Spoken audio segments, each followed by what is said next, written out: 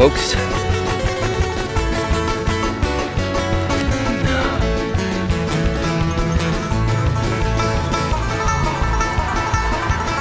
Wow. That was well. Let's try this dude. Ready?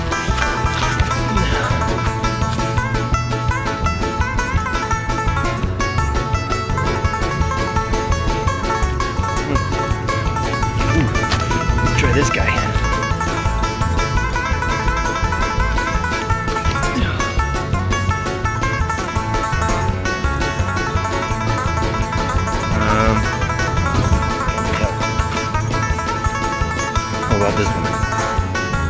We'll make it close to this one one time. Oh, oh, oh, oh.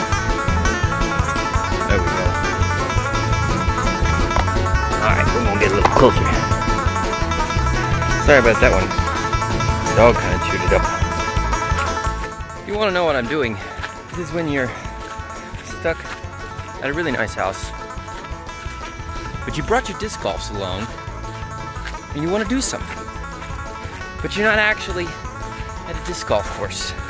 Just need some disc golf, some flip flops, and a blue bucket, what you call a redneck disc golf.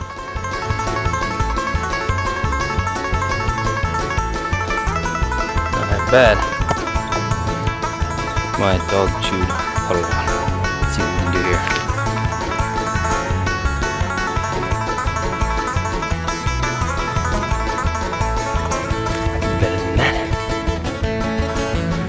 go.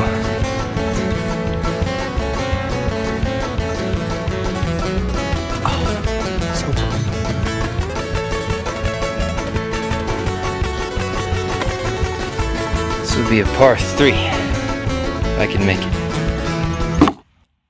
Are you kidding me?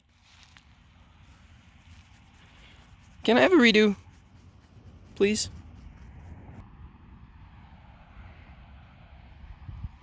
Nobody saw the last one, so we're good. Par three, if I make it.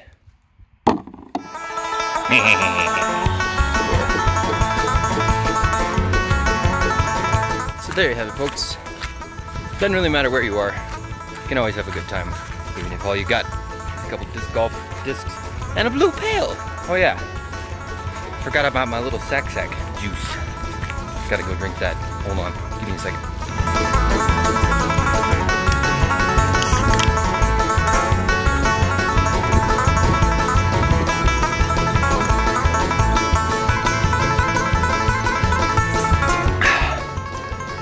had one of these, you gotta try it.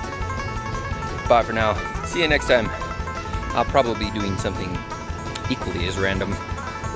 Have a good day. No, I didn't see that. See ya.